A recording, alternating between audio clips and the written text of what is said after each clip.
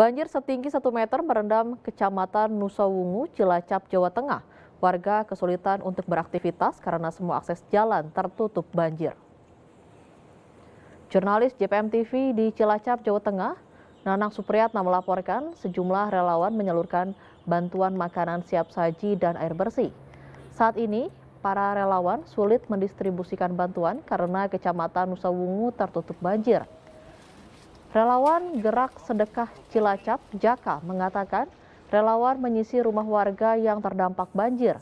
Bantuan untuk meringankan warga korban banjir. Saking GS. kasih bantuan dari teman-teman semuanya, Alhamdulillah kita bisa mendistribusikan langsung bantuan tersebut untuk masyarakat yang terdampak banjir. Doakan mudah-mudahan bisa